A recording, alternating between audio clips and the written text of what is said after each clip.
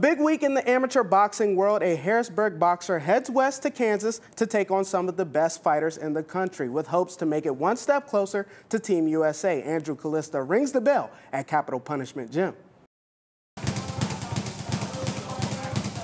If you notice, he's a freak of nature. I mean, this young kid is 16 years old, 6'2", weighing in like 185, 190, and he's, he's solid. Harrisburg's Rishon Sims loves to step into the ring and face the best. I've been looking forward to this since Sugar Bert. After Sugar Bert, I started training for this.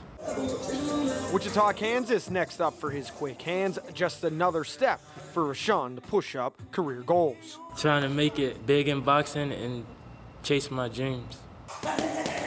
Dreams that involve Olympic rings. First up, USA Boxing Junior Olympics. Last year we thought about it. We thought about the Junior Olympics and we focused on it. Me and his dad, we talked about we want to take them to the JOs.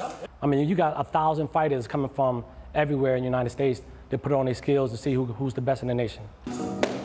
A big stage for Rishon to prove himself after just four years inside the ropes and an 8 and 1 record. 100%. Well, being a boxer, you have to believe in yourself.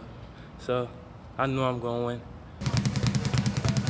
Three fights in three days brings home the gold and earns a spot at Nationals in December. The key to his success? Everybody should have fun, and if you're not having fun doing the sport you love, then it's not the sport for you.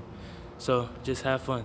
A top of the podium finish with the number one ranking is pretty fun. And if he does, when he returns back here to Capital Punishment Gym, he earns yet another spot on their famed National Tournament Champion wall. In Harrisburg, Andrew Callista, Fox 43 Sports.